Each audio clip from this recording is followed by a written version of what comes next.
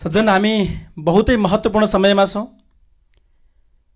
यो देशमा राष्ट्रिय जनावर भनेर घोषित गाईको हत्या हुन्छ मन्दिरको अगाडि चर्च बन्छ र हामी सबै नेपालीहरू मुख दर्शक भएर बस्छौँ। हामीले जुन गाईलाई आमा मानेका छौँ तेत्तिस कोटी देवताहरूको जुन गाईको भित्र नित्य निवास हुन्छ भन्ने मान्दछौँ। जन्मदेखि मृत्यु पर्यन्त गाई बिना जीवन सम्भावना नै छैन। सनातन धर्ममा यस्तो गौको हत्या भइरहेको छ।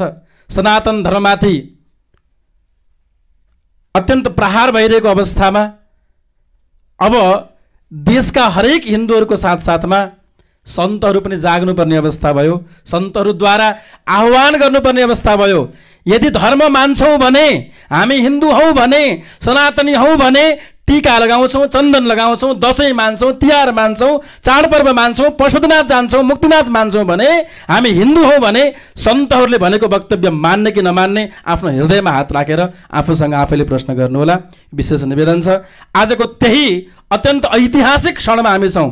सन्त महात्माहरूद्वारा के दिशा निर्देश हुन्छ त्यो परिपालन गर्ने कि नगर्ने अत्यन्त आफ्नो पितृ सम्झिएर देव सम्झिएर अगाडि बढ्नुहोला। म लामो सम्बोधन केही गर्न चाहदिनँ। सानो कुरा सन्दर्भ याद आयो। यदा कदा अहिले विद्वान भनौदाहरूले दसैँ हाम्रो पर्व होइन तिहार हाम्रो पर्व होइन तिहार दसैँ सनातन धर्मावलम्बीहरूको पर पर्व होइन भनेर विध्वंसकारी लेख पनि लेख्न थालेका छन्। त्यस्ताहरूप्रति खबरदारी व्यक्त गर्न चाहन्छौँ। हाम्रो धर्म संस्कृति हाम्रो परम्परा वैदिकत्व दसैँ तिहार छठ यी आदि पर्वहरूले सदैव अक्षोण बनाएर राखेका छन् र यो सनातन धर्मकै मूल देन हो भन्ने पनि निवेदन गर्न चाहन्छु। अबको पालोमा नेपाल राष्ट्रका ऐतिहासिक प्रथम जगद्गुरु अनन्तश्री विभूषित स्वामी स्वामी श्री बालसन्त मोहन शरण महाराज श्रीको उद्बोधन रहनेछ। पूज्य महाराज श्रीको श्री चरण कमलमा नमन र प्रणति गर्दै अबको उद्बोधनको लागि गर्न चाहन्छु। सन्दर्भ यहाँ छुट्याइएको रहेछ। सङ्गठनको आह्वान इत्यादिका सन्दर्भहरू र देशको प्रति पूज्य पाद जगद्गुरु महाराज श्रीको उद्बोधन अबको पालामा रहनेछ। ॐ ऋषिभिः संस्तुतां नित्यं हिन्दुराष्ट्रविभूषितां वैदिकी साधनां भूमिं वंदे नेपालमातरं वैदिकी साधनां भूमिं वंदे नेपालमातरम्। विश्वका कुना कुनाबाट विश्व को एकमात्र हिंदू राष्ट्र को पावन धरती पशुपति को पावन भूमि विश्व बंदित अर्चा विग्रह सालग्राम को भूमि शांति का अग्रदूत महात्मा बुद्ध को भूमि, पराम्बा जनक नंदिनी जानकी को भूमि, विदेराज जनक को भूमि र पर्वतराज हिमालय को भूमि। पराम्बा माता पार्वती को प्राकाट्य भूमि को यो सुंदर वक्षस्थलमा आज वैदिक सनातन धर्मका महान आचार्यहरू धर्माचार्यहरू एकै मञ्चमा उभिएर तिन करोड नेपालीहरूको दुखेको छाती अनि भत्किएको संस्कृति समाजमा आएको विखण्डन र तिन करोड नेपालीको छिया छिया भएको चिरिएको हृदयलाई मलमपट्टि गर्ने उद्देश्यले यस्ता महान राष्ट्रभक्त देशभक्त सपुतहरूको आज यो टेलिभिजनको प्राङ्गणमा उपस्थित भएर करोडौँ नेपालीहरूलाई वैदिक सनातन धर्मको रक्षाका लागि आह्वान गरिरहनु भएको यो अपूर्व क्षण नेपालको इतिहासमा महापुरुषहरूले र राष्ट्रभक्तहरूले स्वर्ण अक्षरमा लेख्नेछन् भन्ने लाग्दछ मलाई। आज आफ्ना आफ्ना आश्रममा बसेर आफ्नो साधना आफ्नो उपासना आफ्नो विद्यादानको क्रममा बसिरहनुभएका यी महापुरुषहरू आज राष्ट्रप्रति शासकहरूले गरेको क्रूरता कठोरता निर्दयतालाई देखेर असह्य भएर सडकमा निक्लिने अवस्था भएको छ। यसले अब राष्ट्र कतातिर जान्छ शासकले देश कतातिर लान्छन् भन्ने चिन्ताले चिन्तित भएका महापुरुषहरूले आज गहभरि आँसु बनाएर भावुक हृदयले नेपालीहरूमा आह्वान गर्दै हुनुहुन्छ। वास्तवमा प्रत्येक नेपालीले आज सोध्ने दिन आएको छ। किनभने हेर्नुहोस् विश्वका कुनै पनि राष्ट्रका विधानमा राष्ट्र हुन्छ। संविधानमा राष्ट्र हुन्छ। तर दुर्भाग्य हाम्रो देशको संविधानको प्रस्तावनामा राष्ट्र छैन। त्यहाँ काङ्ग्रेस छन् त्यहाँ कम्युनिस्ट छन् त्यहाँ माओवादी छन्। तर त्यहाँ मेरो देश छैन मेरो सगरमाथा छैन त्यहाँ मेरो गण्डकी कोशी कर्णाली महाकाली सेती भेरी त्यहाँ सजिएको छैन त्यो छातीमा। सर्वोच्च शिखर सगरमाथाको नाम उल्लेख छैन अरे विश्ववन्दित पराम्बा जानकीको नाम त्यहाँ उल्लेख छैन राष्ट्रदेव पशुपतिको त्यहाँ नाम उल्लेख छैन महात्मा बुद्धको सम्बोधन छैन जुन संविधानको प्रस्तावनामा यो मुलुक छैन भने त्यो संविधानले यो राष्ट्रलाई के दिन सक्छ याद गर्नुहोला। यस कारणले यस संविधानले यो मुलुकलाई कहिले पनि सम्मान गर्न सक्दैन र यी महापुरुषहरूले गरेको त्याग र तपस्याको सम्बोधन गर्न सक्दैन। यस कारणले आज दुखेको हृदयले आज छटपटाएको हृदयले यस्ता अस्सी वर्ष नागेका महापुरुषहरू यो मञ्चमा यो स्टेजमा आएर यो मिडियाद्वारा करोडौँ नेपालीहरूले आह्वान गर्दैछन् देश बचाउन आउनुहोस्।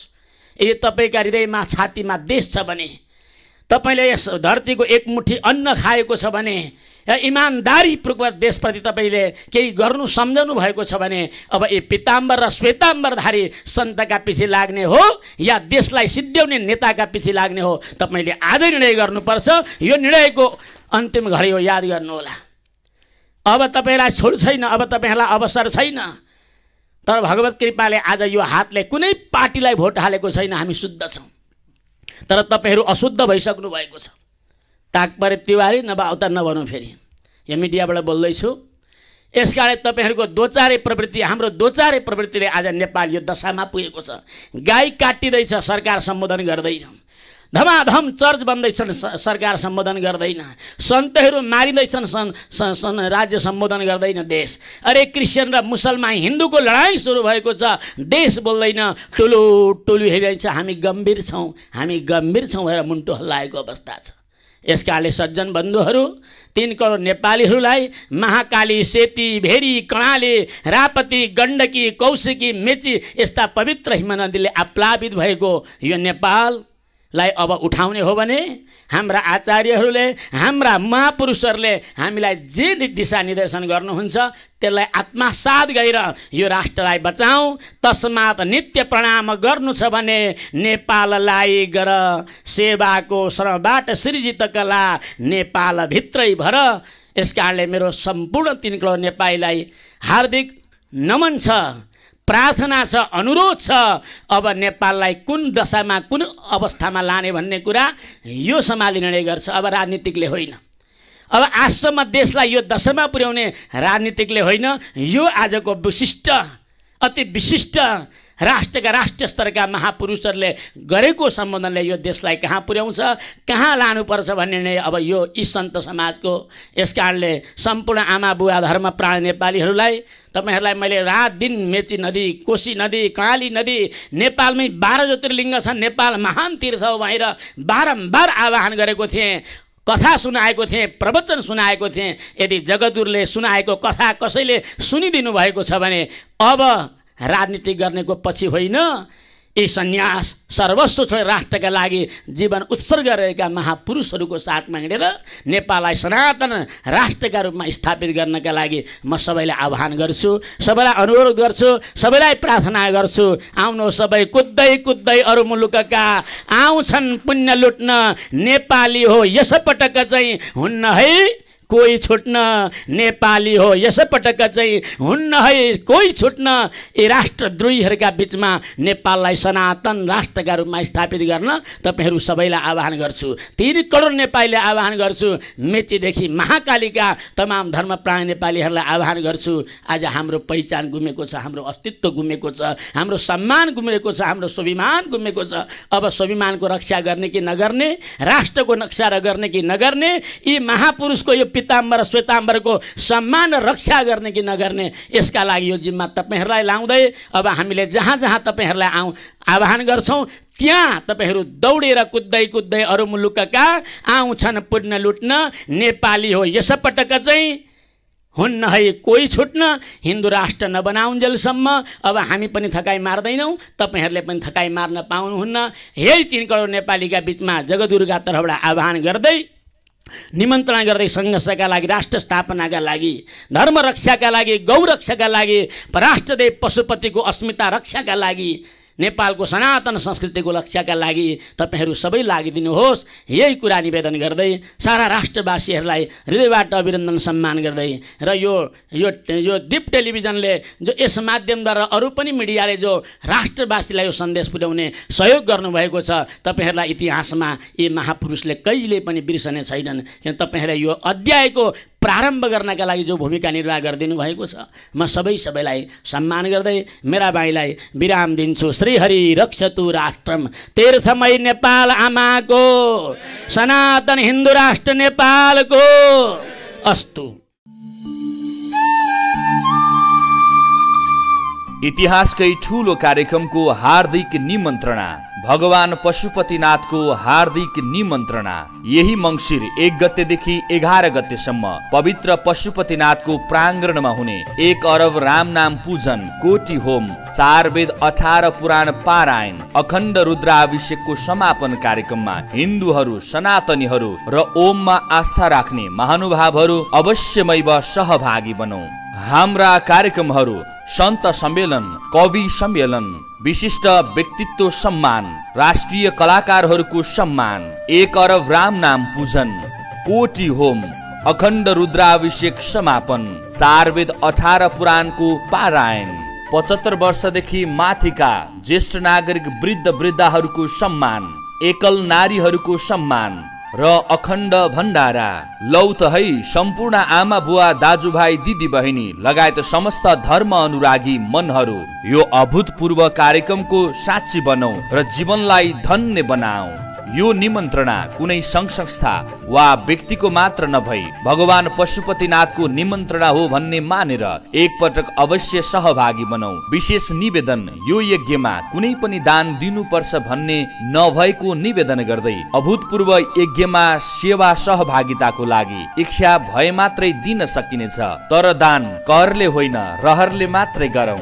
यसका साथमा दाताद्वारा दिइएको दान माता पिता सेवा आश्रम विश्वकै नमुना ऐतिहासिक देवघाट दिव्य धाम मन्दिर निर्माणमा लगाइने निवेदन गर्दछौ। मङ्सिर एक गतेदेखि एघार गतेसम्म पशुपति जाउँ। चतुर्मास महासत्सङ्गको समापन सत्र राम कथामा सहभागी बनौ र पुण्य कमाऊ आयोजक विश्व जागरण महाअभियान ट्रस्ट तथा यज्ञ सम्पादन मूल समिति। सम्पर्क नम्बर अन्ठानब्बे पाँच बाह्र सडचालिस सात सय तिन र अन्ठानब्बे पाँच सहत्तरी बयालिस तिन सय त्रिचालिस।